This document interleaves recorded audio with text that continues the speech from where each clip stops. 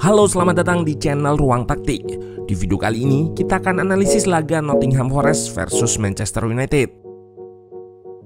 MU berhasil menang di kandang lawan dengan skor 2-0.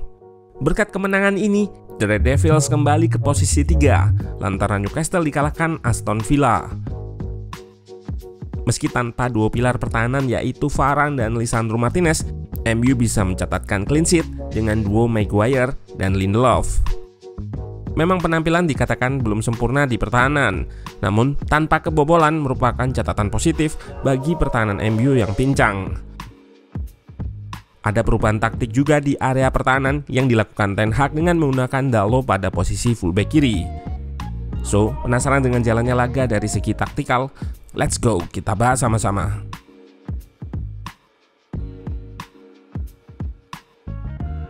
Tuan rumah Nottingham Forest turun dengan formasi bertahan 3-4-1-2. Pelatihnya Steve Cooper memang bermain reaktif dengan mencatatkan possession terendah kedua di liga.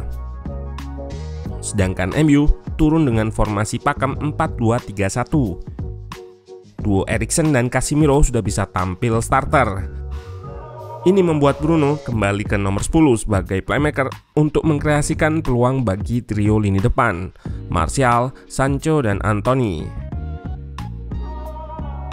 Dengan kembalinya Bruno di posisi depan, attacking outputnya langsung terlihat di sini dengan menciptakan beberapa peluang bagi rekannya. Belum satu menit laga berjalan, ia melakukan dismarking atau lepas dari marking dengan berlari dari belakang lawan, lalu mengirimkan umpan cross datar namun sayang Sancho gagal menceploskan bola muntahnya. Jika dilihat dari heatmapnya, selain berada di nomor 10 atau belakang striker, ia kerap melebar ke kanan. Pada klip ini, terlihat ia kembali melakukan dismarking dan menerima bola dari Erikson yang melihat pergerakannya dengan memberikan umpan terukur melewati lawan. Di sini juga terlihat visinya yang melihat Sancho sudah berada di depan back, namun sayang umpannya yang terlalu deras gagal dijangkau pemain bernomor punggung 25 ini. Pada laga ini, ia memang gak mencatatkan asis, namun expected assist atau nilai umpan yang seharusnya bisa jadi asis jumlahnya 0,38. Sayang, 6 kesempatan peluang yang dicatatkannya nggak bisa dijadikan gol oleh rekannya. Pemandangan yang menarik langsung terlihat di awal adalah Roll Dalot yang diplot sebagai fullback kiri. Ia menggantikan posisi Luke Shaw yang diragukan tampil lantaran cedera. Ten Hag menyulap taktik build up-nya juga dengan sering menginstruksikan Dalo untuk invert atau bergerak ke tengah, menemani Casemiro. Dengan taktik ini juga, Erikson bisa lebih ke depan dan MU bisa menang jumlah di tengah, memudahkannya dalam melakukan progresi. Tiga gelandang Forest akan marking empat pemain MU di tengah, yang mana akan membuat satu pemain lepas unmarking atau nggak terkawal. Seperti pada klip ini, di mana Dalo yang invert atau ke tengah bergerak ke sayap untuk memancing satu gelandang Forest melebar, sehingga membuka akses umpan ke Erikson. Saat menerima bola, terlihat gelandang Forest melakukan press tapi mereka membuat Bruno unmarking atau nggak terjaga. Dengan cerdik, Erikson melakukan flick ke Bruno. Blok press depan tereliminasi, MU langsung menyerang pertahanan Forest. Umpan Anthony sempat gagal, bola muntah ke belakang, dan sepakan Bruno masih bisa ditepis oleh Keylor Navas. Ia bermain cukup baik pada malam ini. Dan dengan peran Dalo serta Bruno ini, MU bisa mencetak gol pertama. Diawali dengan Dalo yang invert lalu melebar sama seperti sebelumnya, namun kali ini gelandang Forest nggak mengikutinya membuat Dalo bisa mengalirkan bola ke depan tanpa gangguan. Saat hendak membongkar pertahanan, bola lepas dari Martial.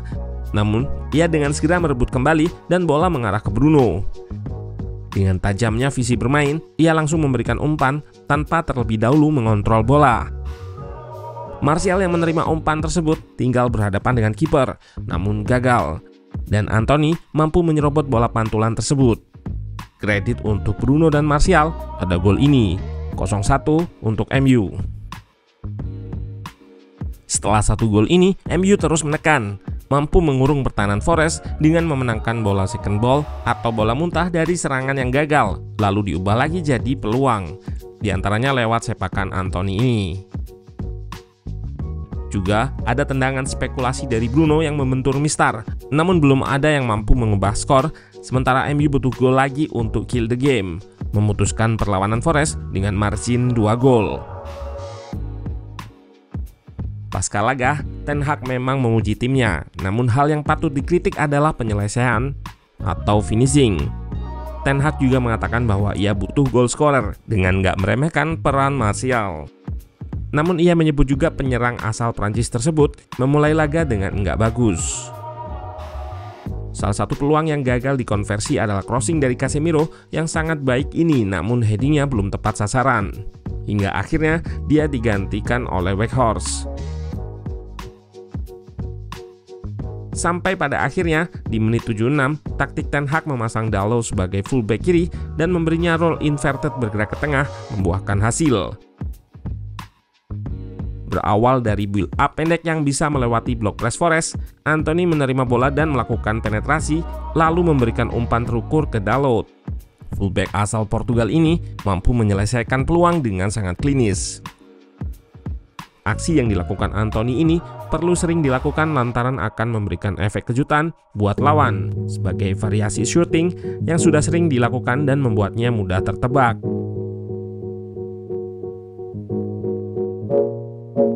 Kemenangan ini tentu sangat berarti bagi jalan MU musim ini, lantaran Ten Hag menyebutkan timnya sedang dalam krisis back. Dengan hanya 4 back yang tersisa pada match ini, ia mampu meracik taktik sedemikian rupa dan berhasil menang sekaligus menyalip Newcastle pada peringkat 3. Namun dengan tiga kompetisi yang masih diikuti MU, situasi ini jelas nggak bagus dan Ten Hag masih punya PR untuk menstabilkan performa timnya.